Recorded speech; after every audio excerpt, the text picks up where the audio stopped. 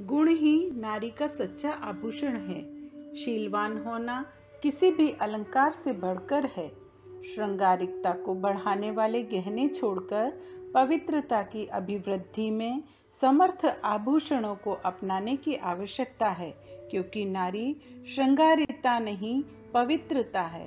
पंडित श्री राम शर्मा आचार्य, पुस्तक का नाम आधुनिकता की दौड़ में नारी आदर्शों से ना गिरे। पुस्तक परिचय। पे अपने कॉलेज समय में मैंने बहुत सी लड़कियों को धूम्रपान करते, अभद्र वस्त्र पहनते, बाहरी सुंदरता की होड़ में फ़ैशन परस्ती करते और आदर्शहीन जीवन जीते देखा था। यह सब आधुनिकता का परिचायक समझा जाता है। पर एक प्रश्न मेरे मन में हमेशा उठता था कि क्या आधुनिकता हमें आदर्शों से गिरना सिखाती है? या विवेकपूर्ण नीति अपनाकर सम्मान पूर्वक समाज में शांतिपूर्ण व्यवस्था बनाए रखना। भारतीय समाज बहुत तेज़ी से बदल रहा है और साथ में परिवारों को स्वरूप भी बदलता जा रहा है। नारी परिवार की मुख्य बिंदु होती है।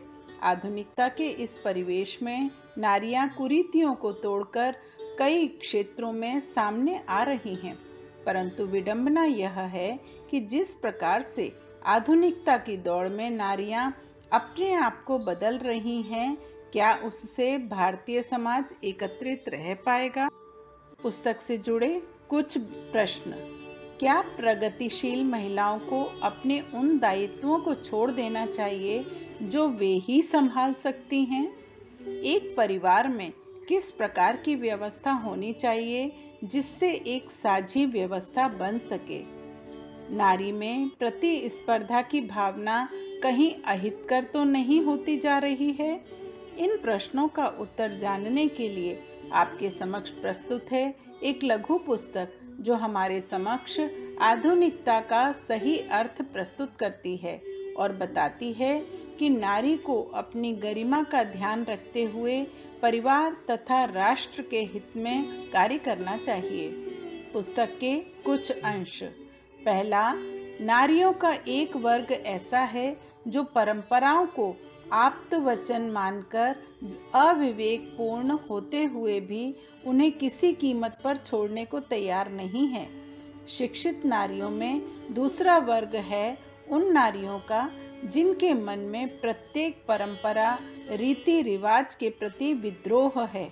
वह विवेक युक्त अथवा अविवेकपूर्ण किसी भी पुराने प्रचलन को अपनाने को तैयार नहीं है। दूसरा, फ़िल्म विज्ञापन पत्र पत्रिकाओं, साहित्य और वैचारिक गोष्ठियों में आधुनिक नारी का जो चित्र बनता है, प्रतिपादित किया जाता है, उसमें नारी के कमनीय रूप को ही अधिक मुखरता मिलती है। इससे यह जरा भी नहीं लगता कि नारी स्वतंत्र हो रही है। तीसरा, परिवार के सदस्यों के बीच अपनेपन का विशेष अनुभव होना परिवार के टिकाऊपन का सर्वश्रेष्ठ गुण है। जब अपनों में अपनेपन का भाव समाप्त हो जाता है, तभी आपसी प्रेम के टुकड़े होने लगते हैं।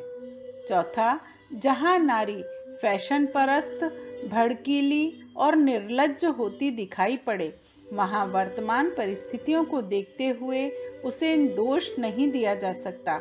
यह उसकी विवशता है, यह उसके भोलेपन का शोषण है।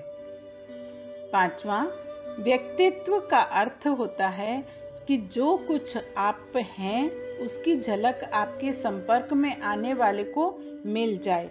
इसका शरीर प्रदर्शन से कोई संबंध नहीं है। जो कुछ हमारे भीतर है, उसका आभास संपर्क में आने वाले को होना ही चाहिए। इसके लिए आपका व्यवहार, बोलचाल, भाषा, नम्रता, शिष्टाचार, शालीनता, सौम्यता आदि पर्याप्त हैं।